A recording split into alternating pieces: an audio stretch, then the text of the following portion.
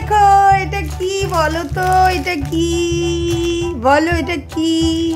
এটার ওয়েট করতেছিলাম আমি, জানো? এই যে তোমরা চিনে গেছো নিশ্চয়ই। আর আমি এটার ওয়েট করতেছিলাম। কেন জানো? এটা অ্যাকচুয়ালি আমার প্রতি বছর আমার হাজব্যান্ড অফিস থেকে আনে। এইবার আমার হাজব্যান্ড একটা এনেছে জাস্ট একটা আমরা পাঁচজনে ভাগ করে খেয়েছি। আমার মেয়ের এক বান্ধবী পূজা জন্য কতগুলো পাঠিয়েছে, আর এখন আমি একটা একটা করে খাব। সঙ্গে একটা গোটা ফলও আছে, দেখতে পাচ্ছ তোমরা।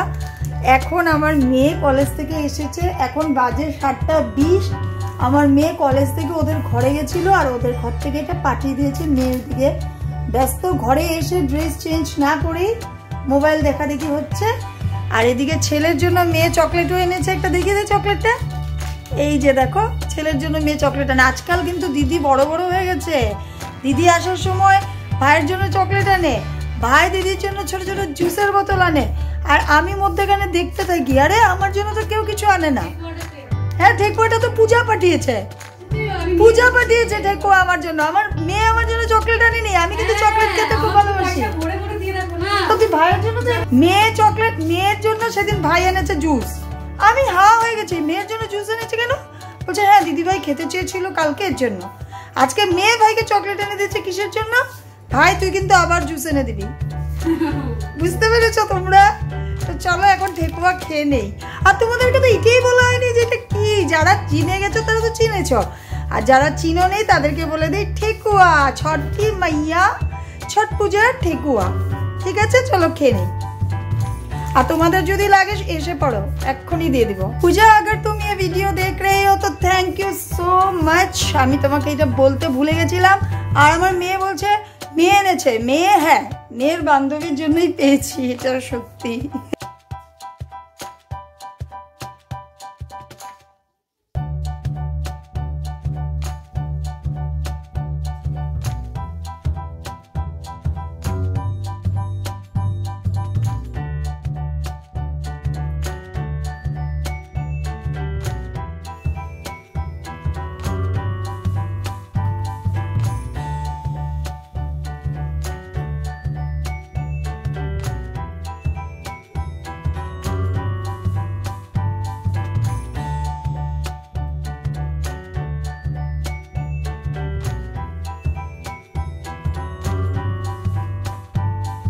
এখানে কাপড়গুলো সব বাজ করে রেখেছি, এখন এগুলোকে আবার জায়গায় নেওয়া কাজ আছে।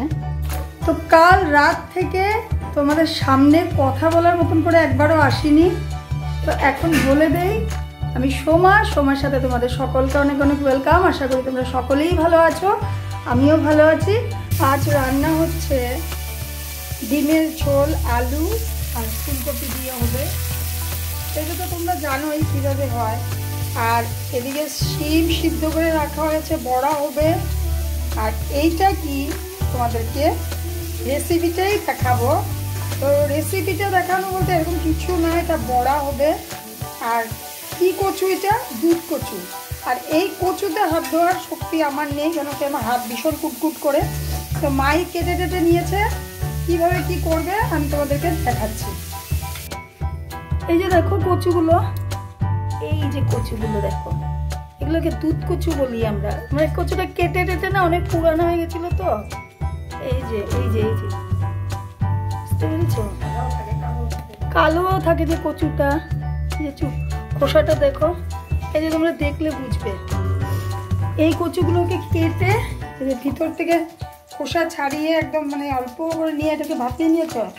না লবণ মেখে রেখে দিয়েছে এটা? এই যে লবণ মেখে জলটা চিপে এই দেখো জলটা নিগড়ে নিয়েছে পুরো।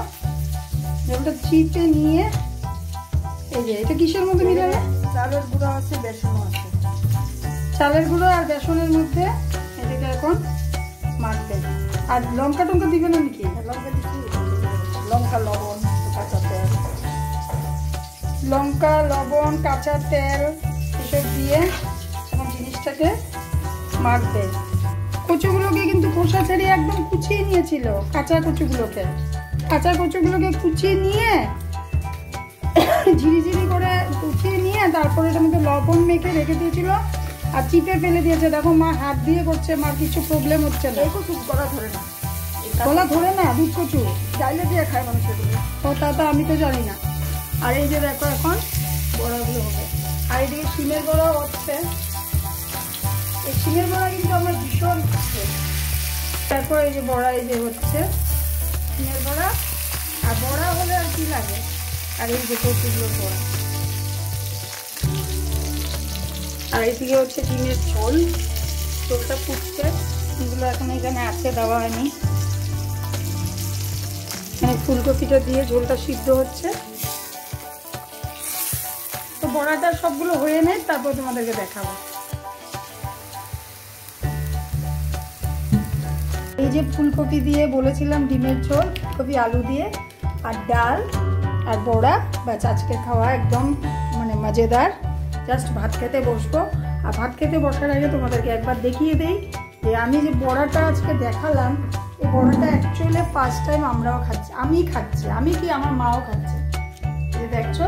আর এই বড়াটা না মানে এই যে কচু দিয়ে মানে কচু মানে কি এটা দুধ কচু? তো দুধ ডিমের বড়া তো আমার ভীষণই প্রিয়। ঠান্ডার দিন মানেই নানান ধরনের বড়া। ফুলকপির বড়া, শিমের বড়া, বাঁধাকপির বড়া, এখন কচুর বড়াও। তো বড়াটা খেয়ে আমি বলছি তোমাদেরকে কেমন হয়েছে।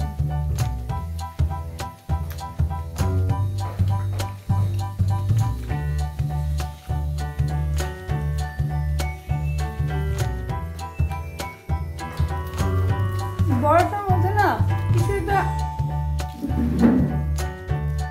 সাগু টেস্ট সাগুর পাপড় খেয়েছ? যেমন সাগুর পাপড় খেতে যেমন টেস্ট আমার কাছে এমন লাগছে জানি না আমার রিভিউ এটাই। তো চলো খেয়ে নেই। ভাত খেয়ে আর তোমাদের সামনে আসিনি দুপুরে শুয়ে পড়েছিলাম। একটু শোয়ার থেকে উঠে জানালা বন্ধ করতে এসে দেখছি অনেক কাক উঠছে। তো একটু জুম করে দেখলাম যে কাকগুলো কি কাঠ ছিল শুধু? না, এখানে কিছু উলু পোকা উঠছিল আমাদের এই জঙ্গল থেকে। মানে এখানে যে পাশেই আমাদের জঙ্গল আছে, এখান থেকে অনেক উলু পোকা উঠছিল। আর কাক সবগুলোকে মানে খেতে ছিল।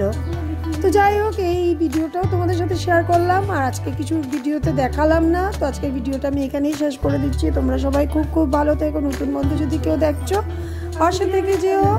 বড়দেরকে শ্রদ্ধা ছোটদেরকে ভালোবাসা জানাই। Bye bye.